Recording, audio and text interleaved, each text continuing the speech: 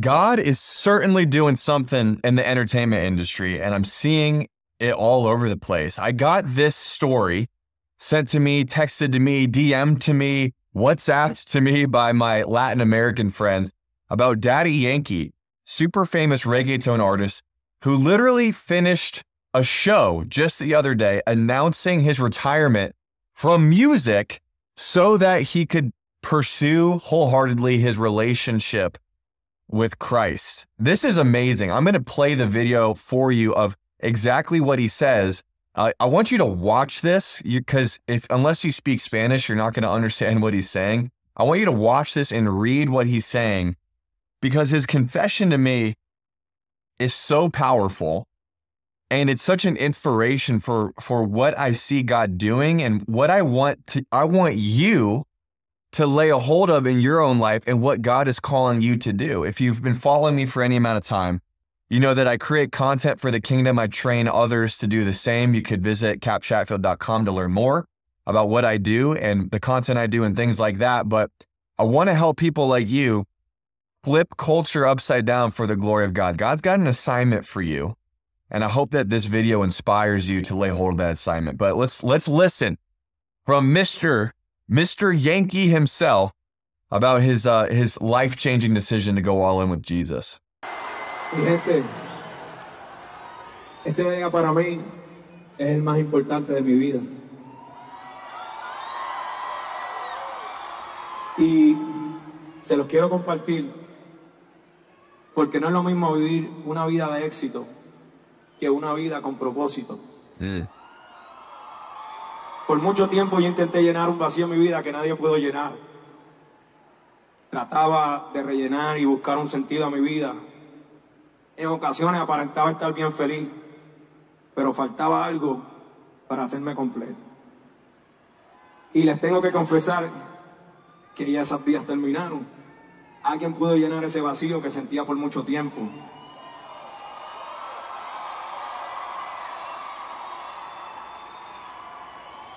Me pude dar cuenta que para todos era alguien, pero yo no era nada sin él. Pude recorrer el mundo durante años, ganar muchos premios, aplausos y elogios, pero me di cuenta de algo que dice la Biblia. ¿De qué le vale al hombre ganar el mundo entero si pierde su alma? Por eso esta noche reconozco y no me avergüenzo en decirle al mundo entero que Jesús vive en mí. Jesus.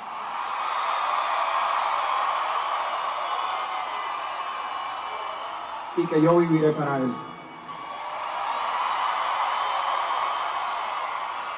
La Biblia dice, todo aquel que lo reconozca en público aquí en la tierra, también lo reconocerá delante de mi Padre.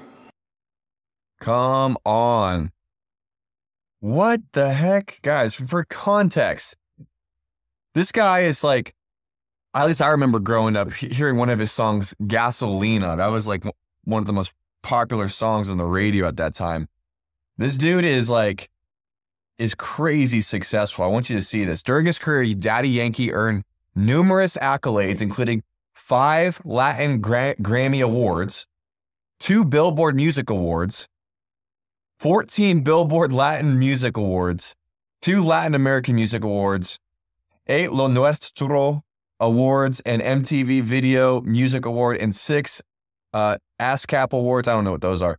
But the point is, this dude, this dude got a taste of everything that this life has to offer. I want to speak to somebody right now that is trying to trying to find fulfillment in their accomplishments, in their achievements, in their work, in how beautiful of a wife or a girlfriend or how handsome or rich of a boyfriend you have or what your body looks like. Dude, this guy has he this dude is like practically worshipped in the reggaeton world for a really long time. Granted, he might possibly be coming to the end of his career as far as uh, his energy and all that. I don't know. But at the the point is though, what he's saying is he tasted everything that the world has to offer, and he realized this doesn't satisfy. Let me tell you, friend, you were not created for this world. You were created for another world. And the reason why You might not be feeling satisfied in the job you have and the friends you have or your reputation or your relationships or the amount of money you have. Like it's never going to satisfy. And the reason why is because you were created for a different world and you were not created for yourself. And what we're seeing him do right now, he said, what, what is it to a man? What does it profit a man if he gains the whole world but loses his own soul? You, I mean, I would imagine, ironically, in the world today, at least in the Western world, where we have access to everything that we could ever imagine from a comfort, ease, pleasure standpoint. You can, uh, if you're lonely, you can go turn on a website and you can get your needs filled there. I'll be as vague as that.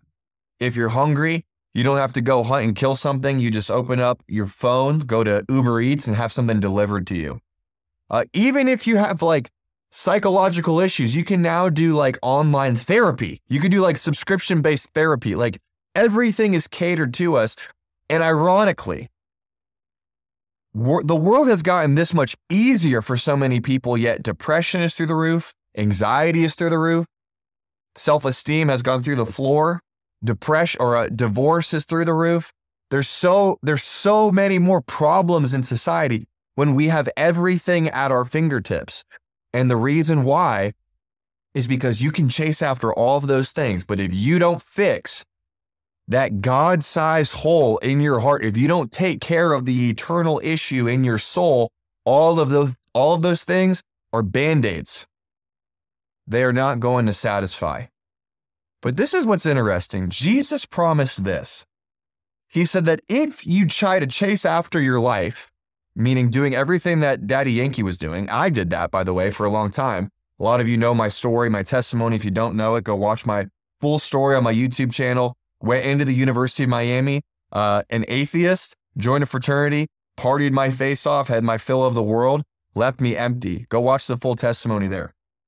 In his scenario, after he was chasing after his life, as Jesus said, it leads nowhere. You'll lose it. But then Jesus said, if you lose your life for my sake, you will surely find it. And that's what he experienced. When you give up your life for the gospel's sake, for the good news, for the kingdom, you'll find it. But guess what? There's even a greater blessing because you might be thinking, he's given up everything. What's he going to get in return for stopping doing music? I want you to see this amazing promise that we see in Matthew chapter 19, verse 29. I want to use the New King James Version so no one uh, accuses me of using a watered down version.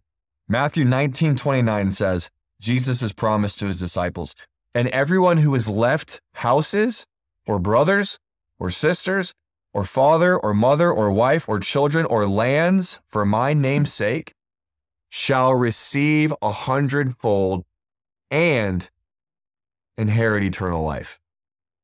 Let me tell you that when you give yourself over completely to the provider, one of God's names in the Bible is Jehovah Jireh, our provider when you and I choose to step out of the seat of saying, I'm not going to play the provider of my life anymore. I'm going to stop being the king. I'm going to stop playing God. I'm going to stop being the director. I am going to give my life over completely to God. I'm going to let Him shepherd me. I'm going to let Him provide. I'm going to let Him, as long as I do what He's telling me to do, God's promise to you is that He will take care of you. God's promise to you. And let me tell you, God doesn't take care of His people in a skimpy way. God lavishes blessing. God lavishes favor. God lavishes opportunity over his people if they if they go all in with what his plan is for their lives. And so I'm excited to see what happens in Daddy Yankee's life. I'm excited to see what happens in his family, what happens in his ministry, what happens obviously in his soul as he makes this decision. But my I, I want to finish this video with this encouragement to you you're watching this video for some reason because this this news caught your attention. I want to ask you transparently. I want you to be fully honest with yourself. What part of your life are you still holding on to? Because let me tell you this, when not that life doesn't have challenges. Jesus promised that we would have trials in this life. Jesus promised that we would have hardship, but he also said that his yoke is easy and his burden is light. And if you think, if you have this like half hearted relationship with God, this lukewarm relationship with God, where maybe you worship Him uh, wholeheartedly, maybe you're pursuing Him in the Word, maybe you're you're praying, maybe you're showing up to a church, and you're feeling like, gosh, like this life is it's like an uphill battle. Let me tell you, something's off. Something's off. Because Jesus promised that there'd be a grace, His grace would be sufficient for us, that there would be a power that we could walk in if we chose to fully surrender ourselves to Him and to His Spirit. But the question is, are you trying to get bo- the best of both worlds? Are you living what it says in Matthew 6:33 that you would seek first the kingdom of God and his righteousness and allow God to add all of these things unto you or are you seeking after all the things of this world hoping that eventually that will make time and space for you to pursue the things of the kingdom? Guys, if you know my story, that's what I tried to do with my business for a while and God's God said, "No, man, you're pursuing all these other things, hoping that the time to pursue my kingdom will be added to unto you. And that's not how it works. Seek first the kingdom of God and his righteousness, and all of these things will be added unto you. Your life, you God was God, God did not create you to have a life full of frustration. God created you to live a life of great exploits. God created you to live a life of anointing and favor.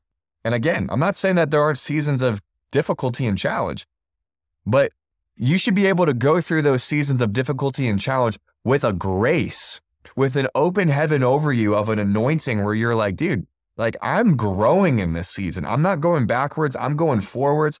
God is pulling new things out of me. He's taking me from one level of glory to another level of glory. That can only happen, as it says in the book of Hebrews, chapter 12, if we lay aside every sin, which we always talk about cutting out the sin in our lives, but not just sin, every sin and the weight which so easily ensnares us. There's things in your life, I believe this for you right now. There's things in your life, I'm just going to declare this prophetically. There's things in your life that aren't sin, but they are absolutely distractions from the calling that God has placed on your life. The business to start, the ministry to start, the family God has called you to steward and lead and invest in. The local church that God is saying, hey, stop, stop throwing stones at your local church. Stop throwing stones at your pastor and your ministry leaders for how they don't do things the way that you would want them to do. And they don't do things the way that your old church used to do them. Hello, come on, somebody. Maybe God is saying, no, I want you to be planted and provide a solution there, but you have been distracted. And when you're distracted, you're not able to hear the voice of God because you're double minded. And a double minded man shouldn't expect to receive anything from the Lord because he's unstable in all of his ways. James chapter 1, verses 5 through 8. Go ahead and read it. God wants to set you free. God wants to give you clarity. God wants his peace to rule in your heart. God wants to put you into a place of favor, of acceleration, of grace, of increase and expansion. But it's only going to happen if you say, God, prune, prune the branches in my life that are no longer bearing fruit at all, and even prune the branches that are bearing fruit but need to be pruned that they may, may even bear more fruit. I can see in this guy as he's sharing this story, Daddy Yankee, I can see that there's this comes at a cost. When God tells you to lay something down, it's going to come at a cost. But let me tell you, that cost, the cost of not doing it is not worth the peace in your soul that you lose by not obeying. So, Father, I just ask right now for everyone on the other side of the screen that you would give them the grace to obey you and to lay aside everything that's keeping them from fully pursuing you and your assignment for them in Jesus' name. And if you're one of those people that's like, I want to get, I want to know who this God is. I want to have that sort of confidence that I could lay down anything that he tells me to lay down and know that he's going to return to me something even greater as I pursue his kingdom first, you first need to begin a relationship with God. And if that's you, I want you to click the link in the description of this video to learn about what's going to happen to you when you die. 10 out of 10 people are going to die one day. God doesn't want you to be confused. And this is the most important question you'll ever ask yourself. You'll ever ask yourself or get asked. Where will you spend eternity? Heaven or hell? Are you in right standing relationship with God or not? You can find out today. Click the link in the description to watch that video. Otherwise, guys, let me know what you think about this awesome story in the comments. Like it so we can send in front of more people. Subscribe for more. And oh, by the way, if you want to uh, help support this channel and uh, get some amazing Three Nails gear, Three Nails clothing, uh, we're doing a 10% sale, or it's actually up 10% with my promo code, up to 50% off up to Christmas. So click the link in the description of this video. Use promo code KAP, K-A-P, to get 10% off off of everything, plus the, the uh, Christmas sale discount. Otherwise, see you guys in the next video. Take care.